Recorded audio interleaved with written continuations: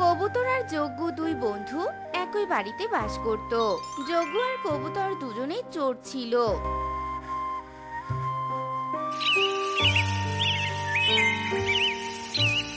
বনের পাখিদের বাড়িতে বাড়িতে চুরি করে ওরা জীবিকা নির্বাহ করত।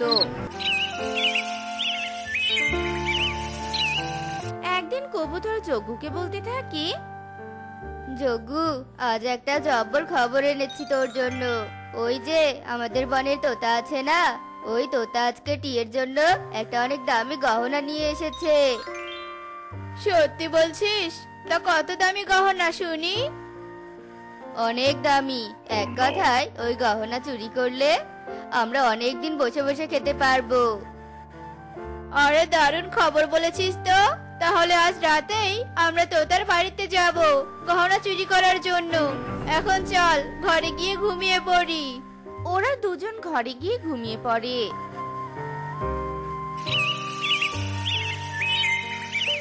রাতের বেলা কবুতরের যজ্ঞ চুপি চুপি তোতার ঘরে প্রবেশ করে। ঘর অন্ধকার থাকার কারণে ওরা কিছুই চোখে দেখে না। যজ্ঞ কবুতরকে ফিসফিস করে বলতে থাকে, কবুতর, তুই কোথায়? আমি তোকে দেখতে পাচ্ছি না। এবার গহনা কি করে খুঁজবো রে? কথা বলিস না। হাত দিয়ে হাতাতে থাক। আলমারি খুঁজে পেলে আমাকে বলিস। ওরা দুজন পুরো ঘর কানার মতো হাতাতে থাকে। ঘরের এক কোণে বিছানায় তোতা শুয়েছিল। যজ্ঞ হাতাতে হাতাতে তোতার পা ধরে আর বলতে থাকে কবুতর এদিকে আয়।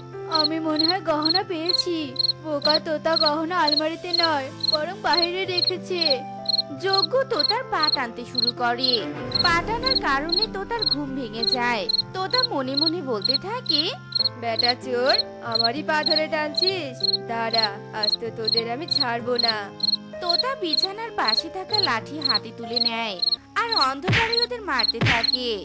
ওরে বাবা রে কবুতর তুই মারছিস কেন আমাকে?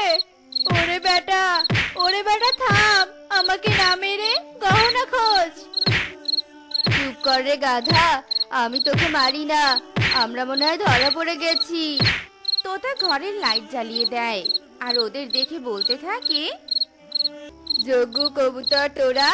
ও তার মানে এতদিন তোরাই বনের পাখিদের বাড়ি চুরি করেছিস? আজ তো আমি সুধে আসলে সব পরিশোধ করব রে।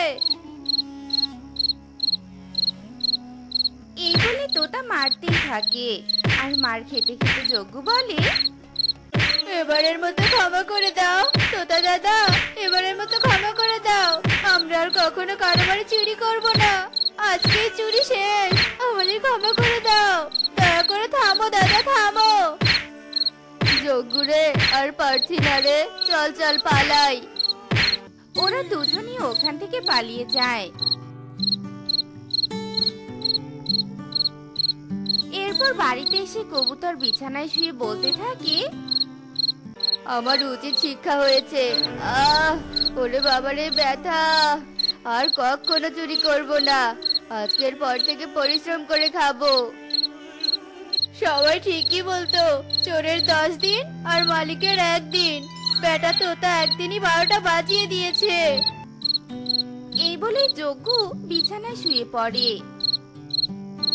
এভাবেই কয়েকদিন কেটে যায়। একদিন দুই বন্ধু উঠতে থাকে আর বলতে থাকে যজ্ঞ এখন তো চুরি করতে পারছি না। চুরি না করার কারণে হাতে কোনো টাকা পয়সা নেই।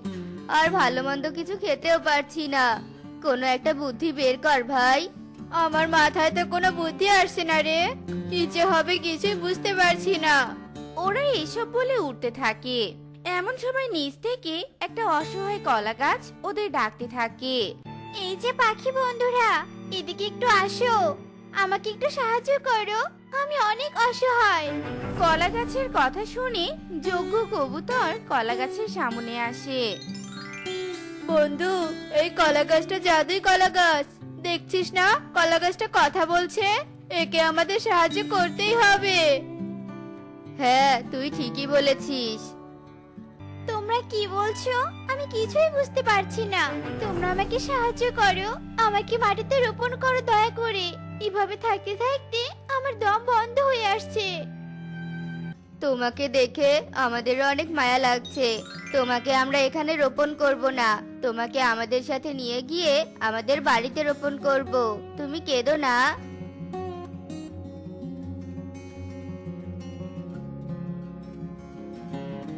যজ্ঞ কবুতর কলা গাছটাকে বাড়িতে নিয়ে আসে আর তাদের উঠোনে রোপণ করে। কলা গাছটা খুশি হয়ে বলতে থাকে?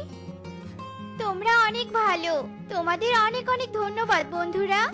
আজ নিজেকে অসহায় নয় সুখী মনে হচ্ছে। যোগ্য কবুতর কিছুক্ষণ কলা গাছের সাথে কথা বলে ঘরে চলে আসে। আজকে আমারও অনেক খুশি লাগছে কারণ কয়েকদিন কলা গাছের সেবা যত্ন করলে জাদুই কলা গাছ আমাদের সোনার কলা দিবে। আর সেই সোনার কলা বিক্রি করে আমরা দুই বন্ধু ধনী হব। এভাবে কিছুদিন কেটে যায়। ওরা দুই বন্ধু অসহায় কলা গাছের বেশ যত্ন নিতে থাকে। একদিন যজ্ঞ কবুতর ওদের ঘরে বলতে থাকে কি ব্যাপার রে কবুতর? অনেকদিন তো হলো। এই কলা গাছ তো আমাদের সোনার কলা দিচ্ছে না। আমার আর তর্স হয়েছে না। চল তো কলা গাছের কাছে গিয়ে চাই এই কলা গাছ অনেক হয়েছে। আমরা আর ধৈর্য ধরতে পারছি না। আমাদের এক্ষুনি সোনার কলা দাও। আমাদের ধনী হতে হবে যে। কি বলছো কি তোমরা? আমি তোমাদের কথা কিছুই বুঝতে পারছি না। আমি সোনার কলা দিব কীভাবে? কেন? জাদু করে দিবি। তুই জাদুর কলা গাছ না? বন্ধুরা তোমরা ভুল ভাবছ। আমি কোনো জাদু শক্তি জানি না। আমি একটা সাধারণ কলা গাছ সাধারণ কলা গাছ তা তুই কথা বলিস কি করে? বেশি কথা না বলে তাড়াতাড়ি সোনার কলা দে। কথা বলতে পারার ক্ষমতাটা সৃষ্টিকর্তা আমাকে বরদান করেছে।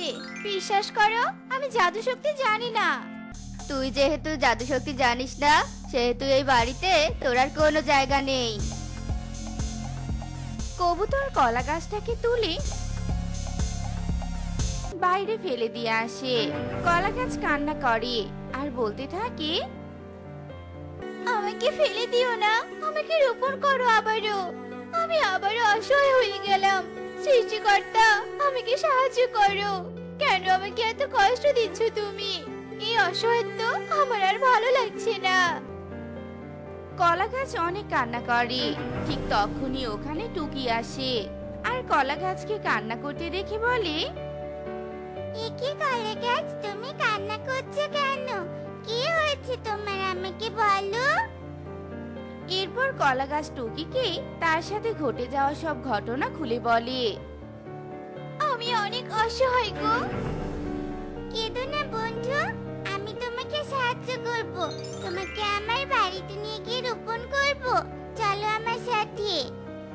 তুমি আবার ওদের মতো আমার কাছে সোনার কলা চাইবে না তো?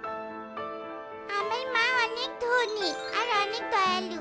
ওই লোভীদের মতো আমরা তোমাকে অত্যাচার করব না। তুমি চিন্তা করো না বন্ধু, চলো আমার সাথে। টুকি কলা গাছটাকে তার সাথে তার বাড়িতে নিয়ে আসে।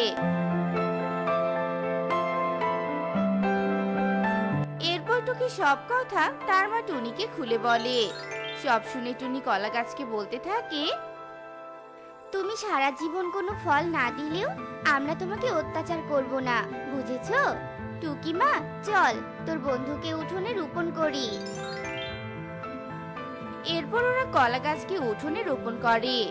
কলা গাছ আজকের পর থেকে আর নিজেকে অসহায় বলবি না, কেমন? এসব বলে ওরা ঘরে চলে যায়। আর এরপর থেকে কলা গাছ টুনি আর টুকির সাথে অনেক সুখে দিন কাটাতে থাকে। যজ্ঞ কণিকা দক্ষিণের বনে বাস করত। কণিকার যজ্ঞ অনেক দুষ্ট। একদিন সকালে যজ্ঞ আর কণিকা একটা গাছের ডালে বসেছিল। যজ্ঞ, বসে থাকতে থাকতে আমার কোমর লেগে আসছে। ও আর বসে থাকতে ইচ্ছেই করছে না। আজ মনে হয় আমরা কোনো পাখির কাছ থেকে খাবার ছিনিয়ে নিতেই পারব না। আমাদের কি খাবার খুঁজতে হবে গো? তখনই যজ্ঞ কিছুটা দূরে টিকে খাবার নিয়ে আসতে দেখে। কণিকা, আমাদেরকে আর কষ্ট করে খাবার খুঁজতে হবে না। ওই দেখো, টিয়ে মিষ্টি মিষ্টি ফল নিয়ে এদিকেই আসছে। এবার তো আমরা ওর কাছ থেকে ফলগুলো কেড়ে নিয়ে খাব। টিয়ে ওদের সামনে আসতেই যজ্ঞ বলতে থাকে, টিয়ে বোন, একটু এদিকে আয় তো। তোর সাথে অনেক জরুরি কথা আছে। টিয়ে যজ্ঞর মিষ্টি কথা শুনে ওদের পাশে একটা ডালে বসে। আর খাবারগুলো তার পাশেই রাখে। দাদা বলো কি বলবে? আমাকে আবার তাড়াতাড়ি বাড়িতে ফিরতে হবে। এই খাবারগুলো নেওয়ার জন্য তোকে ডেকেছি। কনিকা চলো এখানে আর থাকা যাবে না।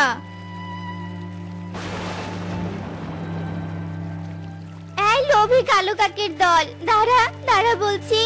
আমার খাবার দিয়ে যা। আমি অনেক কষ্ট করে খাবারগুলো খুঁজেছিলাম। দিয়ে যা দিয়ে যা বলছি। সৃষ্টিকর্তা তোদের কখনো ভালো করবে না।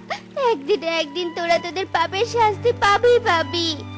টিয়ে কাঁদতে কাঁদতে উড়ে চলে যায়। অন্যদিকে যজ্ঞ আর কণিকা খাবার খেতে খেতে বলতে থাকে বোকাটিয়ে আজকে না খেয়ে থাকবে। ইস আবার আমাদের অভিশাপও দিচ্ছিল। এভাবে বেশ কিছুদিন কেটে যায়। একদিন যজ্ঞ কণিকা উঠতে উঠতে বনের গভীরে প্রবেশ করে। বনের গভীরে প্রবেশ করে ওরা একটা করলা বাড়ি দেখতে পায়। চোখু দেখো, বাড়িটা কত সুন্দর দেখতে। এই বাড়িতে যে পাখি থাকে, আমরা তাকে ধোকা দিয়ে খাবার ছিনিয়ে নিব। চলো, বাড়ির ভিতরে প্রবেশ করি।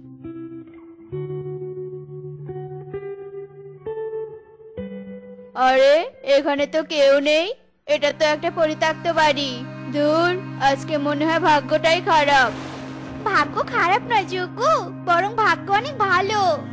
কি কারণে ভাগ্য ভালো বলছো শুনি আরে বোকা আমাদের ঘরটা তো ভাঙা। এটা ভুলে গেছো নাকি? এই কড়া বাড়িটা আমরা নিয়ে যাব। আর এতে আরাম করে বাস করব। আমাদের আর টাকা খরচ করে নতুন ঘর বানাতে হবে না। আরে তাই তো। এই বুদ্ধিটা কেন আগে আমার মাথায় আসেনি? কারণ তুমি যে বোকা হয়েছে, আর অত ভাবতে হবে না। এখন বাড়িটা কীভাবে নিয়ে যাবে, সেটা ভাবো। যজ্ঞ আর কণিকা ভাবতে ভাবতে বাইরে তাকায়, আর ওদের চোখে পড়ে বাইরে থাকা একটা ঠেলা গাড়ির দিকে। যজ্ঞ, ওই দেখো ঠেলা গাড়ি দেখা যাচ্ছে। ওই ঠেলা গাড়িতে করে এই বাড়িটা নিয়ে যাব। চলো, তাড়াতাড়ি গাড়িতে বাড়িটা তুলি। ওরা দুজনে ঠেলা গাড়িতে করলা বাড়িটা তোলে। আর ওদের আগের ঘরের কাছে নিয়ে আসে। ওরা ওদের আগের ঘরটা ভেঙে ফেলে। আর সেখানে করলা বাড়িটা বাঁধে। যোগ্য কণিকা করলা বাড়ির ভিতরে প্রবেশ করে। বাহ! এখন বাড়িটা তো আরও বেশি সুন্দর দেখাচ্ছে। করলা বাড়িটা তো অনেক মজবুত। এই বাড়িটা সহজে ভাঙবে না গো। কণিকা, আমি অনেক ক্লান্ত। চলো, এবার নিশ্চিন্তে ঘুমিয়ে পড়ি। এভাবে বেশ কিছুদিন কেটে যায়। একদিন যোগ্য কণিকা বিছানায় শুয়ে করলা বাড়ির ছাদে তাকায়। আসলে বাড়িটা ছিল ফাটা। হায় হায় এ কি? বাড়ির ছাদ তো ফাটা। যজ্ঞ এই যজ্ঞ এদিকে এসো। ওই দেখো, আমাদের বাড়ির ছাদ ফাটা। এত সাদের বাড়িটা, আমাদের ভেঙে যাবে। যজ্ঞ আমার অনেক কষ্ট লাগছে গো। কেঁদো না কণিকা কেঁদো না। আমরা এই ঘর বিক্রি করে সেই টাকা দিয়ে এই রকম একটা নতুন ঘর বানাবো আর আগের মতো সুখে বাস করব। কার কাছে বিক্রি করবে শুনি? কেউ তো কিনবে না। ফাটা দেখলেই তো সবাই পালিয়ে যাবে। আমার বুক ফেটে কান্না আসছে গো। একটা বুদ্ধি আছে। সেটা হলো আমরা যদি এই বাড়িটা রং করি তাহলে ছাদের ফাটাটা ঢাকা পড়বে আর কারও চোখে পড়বে না। তখন নতুন বাড়ি হিসেবে অনেক টাকায় বিক্রি করতে পারব বুঝেছ? আরে বাহ বুদ্ধিটা তো অনেক ভালো। তাহলে আর দেরি কিসের? তাড়াতাড়ি যাও আর রং কিনে নিয়ে আসো।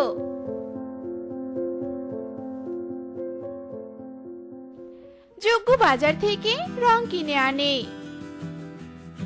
আর করলা বাড়িটা ভালো করে রং করে। রং করা তো শেষ, এবার শুধু বিক্রি করা বাকি। তুমি বাড়িতেই থাকো, আমি সবাইকে বাড়ি বিক্রির কথা বলে আসি।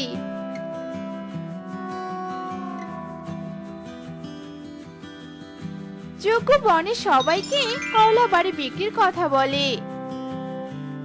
এভাবে দুদিন কেটে যায়। একদিন ইগলি তার ছোট্ট মেয়েকে নিয়ে যজ্ঞুর বাড়িতে আসে আর বলতে থাকে যজ্ঞু এই যজ্ঞু বাড়িতে আছিস? বেরিয়ে আয়। আমি তোর করলা বাড়ি কিনতে এসেছি রে। যজ্ঞু। আরে ইগলি দিদি তুমি আমার বাড়ি কিনবে? বেশ ভালো। হ্যাঁ কিনবো। কত টাকা নিবি বলতো? তোর বাড়িটা যে আমার বেশ পছন্দ হয়েছে। দুই লাখ টাকা দিদি। আমাদের এই বাড়িটা অনেক মজবুত। ইগলি তার ব্যাগ থেকে দুই লাখ টাকা বের করে যজ্ঞকে দেয়। আর বলতে থাকে এখন তো বলছিস বাড়ি ভালো। পরে যদি কোনো সমস্যা হয় তাহলে বুঝবি যে আমি কে। কোনো সমস্যাই হবে না দিদি। তুমি থাকো তোমার বাড়িতে আমরা আসলাম। যজ্ঞ আর কণিকা চলে যায়। না বাড়িটা আসলে অনেক সুন্দর। এবার সবাই আমাকে আরও ভয় করবে। অন্যদিকে যজ্ঞ আর কণিকা হাসতে হাসতে বলতে থাকে এবার করলা বাড়ির থেকে অনেক সুন্দর বাড়ি বানাবো। চলো কণিকা, বাজারে যাই। বাড়ি বানা যন্ত্রপাতি কিনে আনি। ওরা বাজারের দিকে উঠতে থাকে। এভাবে কেটে যায় বেশ কয়েকদিন। একদিন বনে প্রচুর বাতাস ওঠে, আর বাতাসের কারণে রং করা করলা বাড়ির ছাদটা ভেঙে যায়। আর ছাদের নিচে চাপা পড়ে ইগলির মেয়ে মারা যায়। ইগলি তখন বাইরে ছিল। ইগলি বাইরে থেকে এসে এই দৃশ্য দেখে অনেক কাঁদতে থাকে। হাই হাই রে আমার মেয়ে। এখন আমি কাকে নিয়ে বেঁচে থাকব? সৃষ্টিকর্তা তুমি কেন করলে আমার সাথে এমনটা? কেন করলে? না এভাবে আর কেঁদে কি লাভ হবে? ওই বেটা যজ্ঞ ফাটা বাড়ি রং করে দিয়েছে আমাকে। আজ তো আমি ওকে ছাড়বো না। ইগলি যজ্ঞর বাড়ি থেকে উঠতে থাকে। যজ্ঞ আর কণিকা একটা সুন্দর বাড়ি বানিয়েছে। ইগলি সোজা ওদের ঘরে প্রবেশ করে। আমাকে বোকা বানালো, তাই না? হাঁটা বাড়ি বিক্রি করেছিস আমার কাছে? আজ তোদের কারণে আমার একমাত্র মেয়েটা মারা গেছে। লোভী, তোদের আজকে আমি মেরেই ফেলব। দিদি, আমাদের ছেড়ে দাও। আমরা আর কখনো লোভ করব না। ছেড়ে দাও আমাদের। ইগলি কারও কথা না শুনে ওদের মেরে ফেলে। আর নিজেই ওদের ঘরে থাকতে শুরু করে।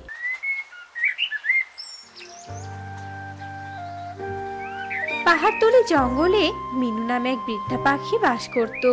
মিনু অনেক জাদু মন্ত্র জানতো। আর সেই জাদু মন্ত্র দিয়ে মিনু দুটো পেয়ারা বাড়ি তৈরি করে। একটা হলো কালো পেয়ারা বাড়ি আর একটা স্বাভাবিক পেয়ারা বাড়ি। তোমরা সবাই শোনো, তোমাদের যার যখন কোনো অভাব পড়বে তখনই আমার কাছে আসবে। আমি তোমাদের সব ধরনের সাহায্য করব। ঠিক আছে, বুড়িমা। আমরা সবাই তোমার এমন কথা শুনে অনেক খুশি হয়েছি। এরপর সবাই সেখান থেকে চলে যায়। এদিকে দেখতে দেখতে রাত হয়ে আসে। এরপর রাত পেরিয়ে ভোর।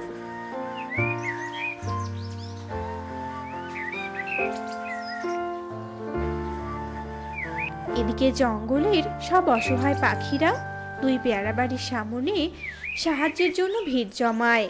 আর মিনুও তাদের সবাইকে টাকা, পয়সা, শস্যদানা দিয়ে সাহায্য করতে থাকে। তোমাদের সবার এমন উপকারে আসতে পেরে আমার খুব ভালো লাগছে। এবার যে আমি মরেও শান্তি পাবো। ছি ছি, বুড়িমা, এভাবে বলো না। আমরা সবাই প্রার্থনা করি, তুমি দীর্ঘজীবী হও, আর আমাদের এভাবেই সাহায্য করতে থাকো। সবাই মিনুকে আশীর্বাদ করে সেখান থেকে চলে যায়। দুই পেহারা বাড়ি, আমি তোদের তৈরি করেছি অন্যের অসহায়ত্বে সহায় হওয়ার জন্য। আমি যদি কোনোদিন বেঁচে না থাকি, তোরা দুজন কিন্তু অসহায়দের সাহায্য করা একদম বন্ধ করবি না। নিজেদের এমন ভাবে করবি যাতে করে অন্যদের সাহায্য করার মধ্য দিয়েই তোদের মৃত্যু ঘটে। ঠিক আছে, মালকিন। আপনাকে এ নিয়ে কোনো চিন্তা করতে হবে না। যাক, তোদের কথা শুনে আমি একটু শান্তি পেলাম।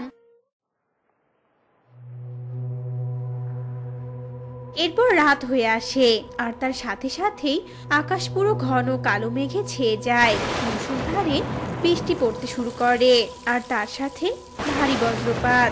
মিনু বাহিরে বসে বসে বৃষ্টি উপভোগ করছিল। হঠাৎ একটা বাজে এসে মিনুর ওপর পড়ে। আর মিনু যন্ত্রণায় কাতরাতে কাতরাতে সেখানেই মারা যায়। এ দেখে তো সাধারণ পেয়ারা বাড়ি অনেক কষ্ট পায় আর কালো পেয়ারা বাড়ি অনেক খুশি হয়। দেখেছি আমাদের চোখের সামনে কেমন আমাদের মালিক মারা গেল আর আমরা তাকে বাঁচাতে পারলাম না। বুড়ি মরেছে তাতে আমি অনেক খুশি হয়েছি। এতদিন তো আমি মনে মনে এটাই কামনা করেছিলাম।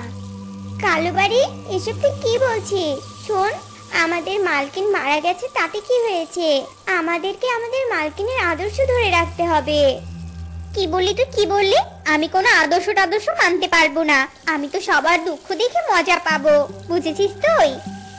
শোন এত অহংকার মোটেও ভালো নয়। সাধারণ পেয়ারা বাড়ি কালো পেয়ারা বাড়ির এমন কথাবার্তায় খুবই কষ্ট পায়। এদিকে দেখতে দেখতে সকাল হয়ে আসে। ততক্ষণে বৃষ্টিটাও থেমে যায়। আর তখনই সুখী আর শালিক আসে দুই পেয়ারা বাড়ির কাছে সাহায্য চাইতে। দুই পেয়ারা বাড়ি? কাল রাতের ঝড়ে আমাদের ভাঙা বাড়িটা পুরো ভেঙে গিয়েছে। তোমরা আমাকে কিছু টাকা দাও, আমরা সেই টাকাগুলো দিয়ে বাড়ি ঘর বানাবো। আমাদের কিছু টাকা দাও। আমি তো কোনো টাকা দিতে পারি না আমি শুধু শস্য দানা দিতে পারি। কালো পেয়ারা বাড়ি টাকা দিতে পারে তোমরা বরং ওর কাছেই যাও।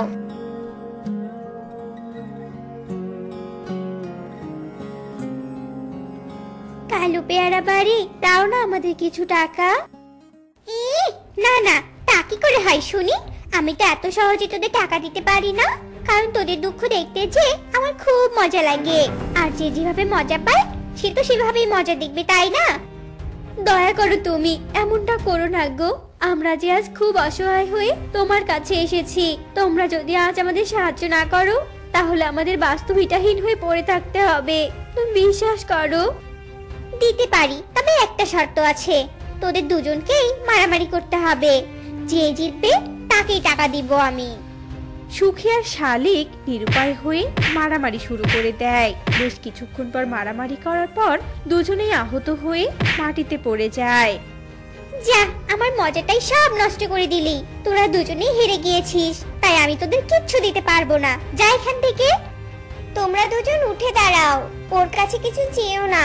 ও অহংকারে ডুবে আছে, তোমরা আমার কাছে এসো। আমি তোমাদের টাকা দিতে পারব না, কিন্তু শস্য দানা দিতে পারব। দুজনেই উঠে সাধারণ পেয়ারা বাড়ির ভেতরে যায়। আর প্রয়োজন মতো শস্যদানা নিয়ে তারা বাহিরে বেরিয়ে আসে। এরপর কেটে যায় আরও বেশ কিছুদিন। ততদিনে কালো পেয়ারা বাড়ির অহংকার যেন আরও বেশি তীব্র হতে থাকে। কাউকেই সে আর সাহায্য করে না। একদিন এক নোংরা বৃদ্ধ পাখি আসে সাহায্য চাওয়ার জন্য। দুই পেয়ারা বাড়ি। তোমাদের দানের কথা শুনে আমি অনেক দূর থেকে এসেছি। অ্যাক্সিডেন্টে আমার একটা পা হারিয়ে গেছে। বৃদ্ধ বলে ছেলে, ছেলের বউয়ের কাছেও আমি বেশি হয়ে গেছি। তার ওপর পা না থাকার কারণে আমি কোনো কর্ম করেও খেতে পারছি না। ডাক্তার বলেছে পঞ্চাশ হাজার টাকা লাগবে।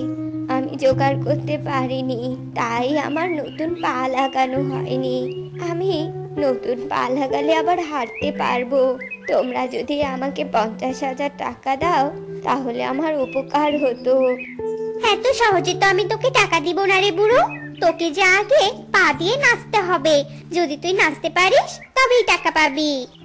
আমার একটা পা নেই। আমি এক পা দিয়ে কি করে নাচবো? তুমি আমাকে দয়া করে দাও না টাকা। শোন বুড়ো তোকে যখন আমি নাচতে বলেছি তখন তোকে নাচতেই হবে।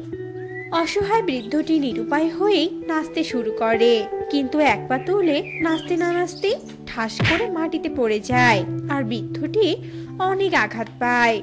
হে বৃদ্ধ তুমি আর ওই অহংকারী অধম নিষ্ঠুরের কাছে কিছু চেয়েও না। তুমি আমার কাছে এসো আমি তোমাকে শস্য দানা দিব।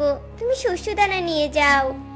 বৃদ্ধটি কোনো রকমে উঠে গিয়ে শস্য দানা নেয় আর বাইরে বেরিয়ে এসে বলে কালো পেয়ারা বাড়ি তুই অনেক অহংকারী। তুই কাউকে সাহায্য করিস না। আমি তোকে অভিশাপ দিচ্ছি। তুই ধ্বংস হয়ে যাবি। আর সাধারণ পেয়ারা বাড়ি, আমি তোমাকে আশীর্বাদ করছি। তুমি দীর্ঘজীবী হও। তোর মতো সাধারণ এক বৃদ্ধর অভিশাপে আমার কিচ্ছু হবে না। বৃদ্ধটি কালো পেয়ারা বাড়ির কোনো কথায় কান্না দিয়ে সেখান থেকে চলে যায়। এদিকে দেখতে দেখতেই কেটে যায় আরও কিছুদিন। একদিন হঠাৎ তুমুল বেগে ঝড় উঠে যায় আর সেই বাতাসে দুই পেয়ারা বাড়ি উড়ে খাদের কিনারায় গিয়ে আটকে যায়। কে কোথায় আছো? বাঁচাও! আমি যে খাদে পড়ে যাচ্ছি বাঁচাও কেউ! এমন সময় কিছু পাখি সেদিক দিয়ে যাচ্ছিল। আরে দুই পেয়ারা বাড়ি তো খাদে পড়ে যাচ্ছে। তোমরা সবাই চলো আমাদের সাধারণ পেয়ারা বাড়িকে বাঁচাতে হবে। সবাই মিলে দৌড়ে গিয়ে রশি জোগাড় করে আর সেই রশি সাধারণ পেয়ারা বাড়ির গায়ে লাগিয়ে টেনে উপরে তুলে নিয়ে আসে।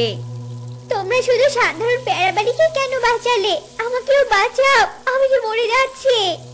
না তুমি অহংকারী। আমাদের সাহায্য করনি কখনো তুমি তাই আমরা তোমাকে বাঁচাবো না বরং খাদে ফেলে দিব। এভাবেই কোনো পাখি কালো পেয়ারা বাড়িকে আর সাহায্য করে না। যজ্ঞ কাক একটা গাছের ডালে বসে রুটি খাচ্ছিল। এমন সময় ওখানে টিয়ে আসে। টিয়ে খুবই চালাক পাখি। অনেক খুঁজেছি কিন্তু কোনো খাবার পাইনি। এবার তো আমি যোগু কাকের কাছ থেকে রুটি নিয়ে খাবই খাব। কি ব্যাপার টিয়ে? এখানে এমন চুপ করে আছিস কেন? কিছু কি বলবি না কি রে? যোগু দাদা জানো আমি দূর থেকে তোমার এত বড় আকার দেখে ভেবেছিলাম। কোনো শক্তিশালী কালো ঈগল এসে বসে আছে। আমার খুবই ভয় লেগেছিল তোমাকে দেখে জানো? হা হা হা তুই সত্যি বলছিস? আমি আকারে অনেক বড় আর অনেক শক্তিশালী। তা নয় তো কি? বনের সব পাখিরাই তো তোমাকে দেখে ভয় পায়। টিয়ে বনে সবাই আমার বন্ধু। আমি কখনো ওদের ভয় দেখাইনি। তুমি তো অনেক বোকা। কারণ এত বড় আর শক্তিশালী পাখি হয়েও ছোট ছোট দুর্বল পাখির সাথে বন্ধুত্ব করেছ। তোমার তো এই বনের রাজা হওয়ার কথা গো। তুই ঠিকই বলেছিস টিয়ে। আজ থেকে আমি কারোর সাথে বন্ধুত্ব করব না। সবাই আমাকে দেখে ভয় করবে। এবার ঠিকই আছে। ঠিক বলেছ তুমি। জানো যোগ্য দাদা আমার না খুবই খিদে পেয়েছে। এই রুটিটা আমাকে দিয়ে দাও। আমি জানি তোমার আকারের চেয়ে তোমার মন অনেক বড়। যজ্ঞ কাক তার মিথ্যে প্রশংসা শুনে গলে যায়। যজ্ঞ কিছু না ভেবেই রুটিটা টিয়েকে দিয়ে দেয়। টিয়ে রুটি নিয়ে ওখান থেকে উড়ে চলে যায়। বোকা কালো কাক ও নাকি বনের রাজা হবে পাগল কোথাকার? অন্যদিকে যজ্ঞ বলতে থাকে এবার বনের পাখিরা আমার খেলা দেখবে। সবাইকে ভয় দেখিয়ে শাসন করব আমি। আমি হব এই বনের রাজা। যাই যাই, পাখিদের ভয় আর শাসন করতে শুরু করি। এই বলে যজ্ঞ উঠতে থাকে। এদিক ওদিক সে তাকাতে থাকে। অন্যদিকে টুনি তার জমি থেকে গাজর তুলে নিয়ে ঝুড়িতে রাখছিল। আর বলছিল এই গাজরগুলো অনেক মোটা হয়েছে। এগুলো বাজারে বিক্রি করলে অনেক টাকা পাবো। আর সেই টাকা দিয়ে আমার মেয়েকে স্কুলে ভর্তি করাবো। টুনি যেই না ঝুড়ি নিয়ে উঠতে যাবি তখনই ওখানে যোগ্য কাকা আসে। টুনি তোর এই জমির গাজরগুলো আমাকে দে। এগুলোতে যখন আমার চোখ পড়েছে তাহলে এগুলো আমি নিব। এগুলো আমার। কি ব্যাপার যোগু দাদা? তুমি এমন করে কথা বলছো কেন? মজা করছ নাকি আমার সাথে? দাদা নয় আজ থেকে আমি তোর কোনো দাদা নই। আমি তোর থেকে আকারে আর শক্তিতে অনেক বড় বুঝেছিস? তা তো ঠিকই বলেছ দাদা। তাই এই গাজর আমি তোমাকে দিতে পারব না। এই গাজর বিক্রি করে আমি তোকে কি স্কুলে ভর্তি করাবো? তুই বনের ভবিষ্যৎ রাজার মুখে মুখে কথা বলছিস? তোর মেয়েকে স্কুলে ভর্তি করার আগেই মৃত্যুর টিকিট দিয়ে দিব। হুম বলে দিলাম। এর চেয়ে ভালো আমাকে গাজরগুলো দিয়ে দে। না যোগ্য দাদা, আমার মেয়েকে কিছু করো না। আমি সব গাজর তোমাকে দিয়ে দিচ্ছি। এই যে, এই নাও গাজর।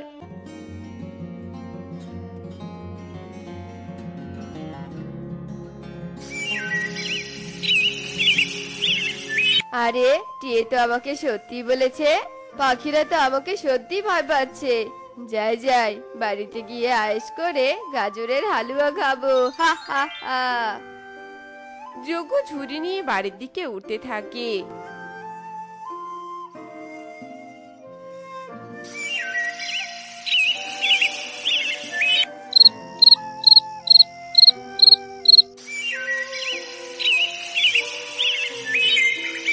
পরের দিন কবুতর একটা বড় গাছের ছায়ায় বসেছিল। এমন সময় ওখানে যজ্ঞ আসে। এই বড় চোখওয়ালা কবুতর, এখান থেকে কেটে পার। এই গাছের ছায়া আমি ঘুমাবো আর আমার অনেক গরম লাগছে। যা যা বলছি এখান থেকে। আমি কেন সরবো? এই গাছের ছায়ায় আমি আগে এসেছি। তুমি অন্য কোথাও যাও। আমার চেহারা দেখে তোর ভয় লাগছে না? ছোট কবুতর কোথাকার? কালো কাক নাম আমার জানিস? চল ভাগ এখান থেকে। না আমি তোমাকে ভয় করি আর না এখান থেকে যাব আমি। দাঁড়া দেখাচ্ছি মজা তোকে। যত বড় মুখ নয়, তত বড় কথা। ছাড়ো, আমাকে ছাড়ো। আমি আর কখনো তর্ক করব না। আমার লাগছে। যোগু দাদা, আমার লাগছে। ছাড়ো। কবুতর কোনো মতে যজ্ঞর হাত থেকে পালিয়ে ছুটতে চলে যায়। আর যজ্ঞ হাসতে হাসতে ওখানে বিশ্রাম নিতে থাকে। কবুতর নদীর পাড়ে গিয়ে টুনিকে সবটা খুলে বলে কবুতর দাদা যোগ্য দাদা কালকে না আমার জমির গাজর কেড়ে নিয়েছে। আমি বুঝতে পারছি না হঠাৎ যোগ্য দাদার কি হয়ে গেল? আমাকে অনেক মার মেরেছে রে টুনি। কেঁদো না দাদা কেঁদো না। আর কোনোদিনও এমন করলে আমরা যজ্ঞকে অনেক কঠোর শাস্তি দিব। ওরা ওখান থেকে চলে যায়। অন্যদিকে যজ্ঞর অত্যাচার দিন দিন বাড়তে থাকে। একদিন শালিক তার একটা ডিমে বসে তা দিচ্ছিল এমন সময় ওখানে যজ্ঞ আসে। এই শালিক, অনেক হয়েছে তোর ডিমে তা দেয়া। আর দিতে হবে না। তোর ডিম আমার হাতে তুলে দে। আমার অনেক ডিমের পিপাসা পেয়েছে, জানিস? দে দে বলছি। কি বলছে এসব? ডিমের পিপাসা মানে? আমি তোমার কথা কিছুই বুঝতে পারছি না। দাঁড়া বোঝাচ্ছি তোকে। যজ্ঞ শালিককে ধাক্কা দিয়ে সরিয়ে দেয় আর ডিমটা ভেঙে খেতে শুরু করে। শালিক অনেক বাধা দেওয়ার চেষ্টা করে। আমার ডিম যোগ্য দাদা এটা তুমি কি করলে? আমার একটা ডিমই ছিল। যোগ্য দাদা আমি এক্ষুনি বনে সবাইকে সবটা বলে দিব।